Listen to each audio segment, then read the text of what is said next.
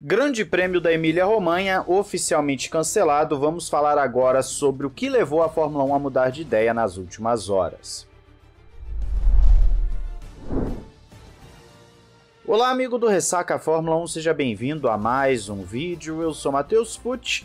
Pois é, você já deve ter visto também aí nas redes sociais que o Grande Prêmio da Emília-Romanha está oficialmente cancelado. Existia até uma possibilidade de ser adiado, mas o calendário congestionado impede a Fórmula 1 de fazer a corrida em outro momento, apesar que ainda estão conversando, mas dificilmente vão conseguir encaixar, o que nos leva então a um déficit de duas corridas até o momento, se comparado ao calendário original. Emília-Romanha e China foram cancelados. Mas qual é a situação lá para que tenha mudado a ideia da Fórmula 1?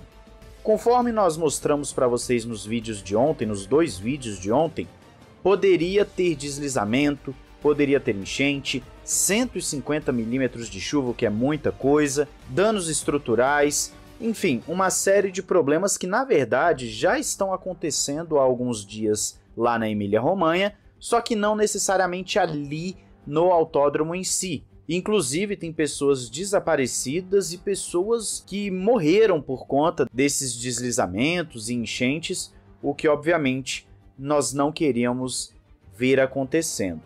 Só que a previsão era que para o final de semana as coisas ficariam um pouco mais tranquilas. Então a Fórmula 1 falou: ok, nós vamos manter o Grande Prêmio, as coisas devem ficar mais tranquilas durante o final de semana.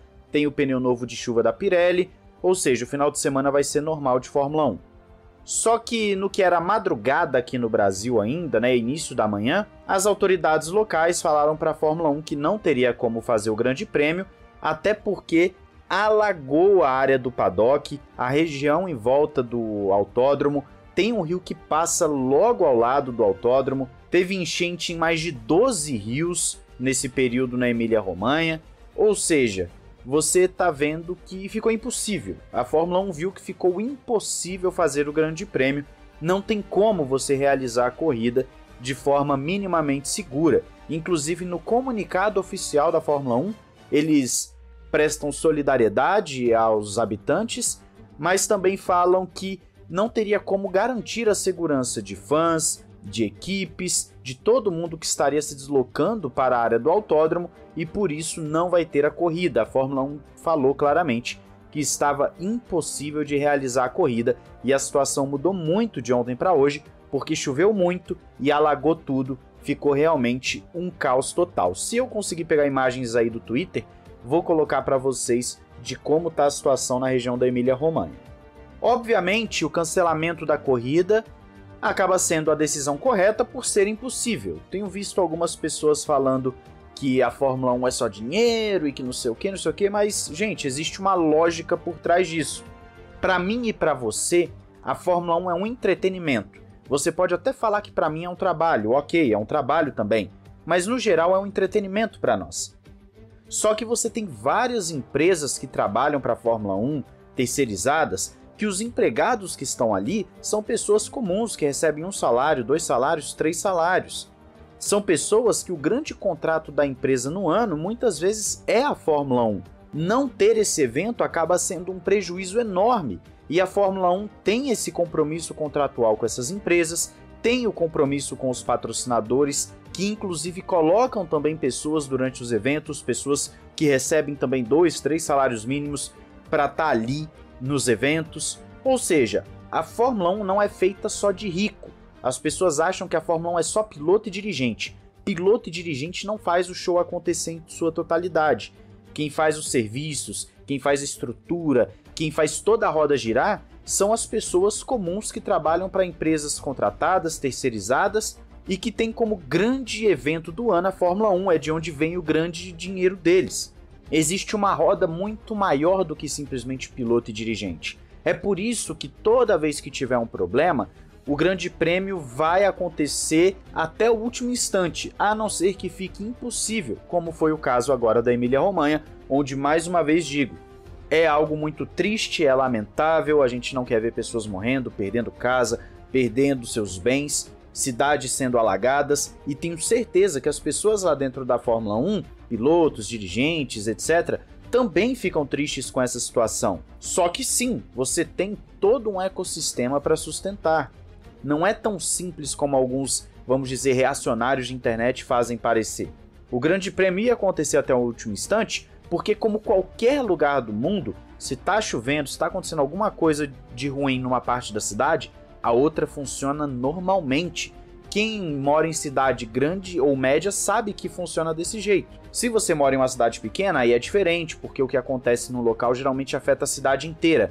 Mas quem mora em cidade média e grande sabe que aconteceu alguma coisa num ponto da cidade, o resto continua normalmente. As pessoas têm que trabalhar, os, o comércio tem que funcionar, os contratos têm que ser cumpridos, etc. Com a Fórmula 1 não é diferente. Ah, o dinheiro manda. Vê se você vai falar para seu piloto favorito reduzir o salário dele. Ele não vai querer. Por quê? Porque o dinheiro manda também para ele. Então essa conversinha que as pessoas ficam de reacionário de internet acaba mais atrapalhando do que ajudando a decisão de cancelar o Grande Prêmio é correta, mas entendo que se não tivesse ruim ali em volta do autódromo, a corrida aconteceria normalmente e acho que deveria acontecer caso realmente tivesse em situação de poder rolar. Como não é o caso, decisão bem tomada, você vai evitar maiores fatalidades, você vai evitar colocar em risco a vida de outras pessoas de uma forma desnecessária, você vai evitar danos às equipes, você vai evitar também que as equipes de emergência fiquem se deslocando, se preocupando com o evento, sendo que tem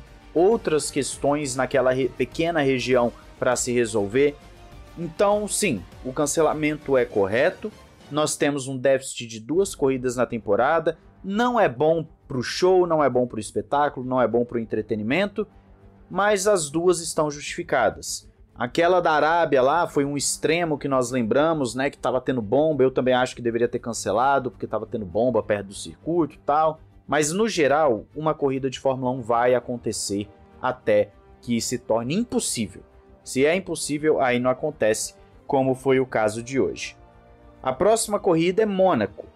Me perguntaram como ficam os upgrades das equipes. Eu vou explicar isso no próximo vídeo mais tarde.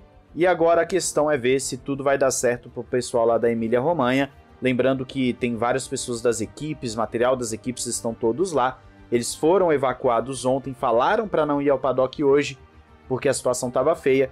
E agora vamos ter que esperar para ver o que, que acontece com a Fórmula 1 nesse período. Qual a sua opinião? Diz aí nos comentários. Não esqueça de se inscrever e ativar o sininho para não perder nada. Um grande abraço, valeu e falou!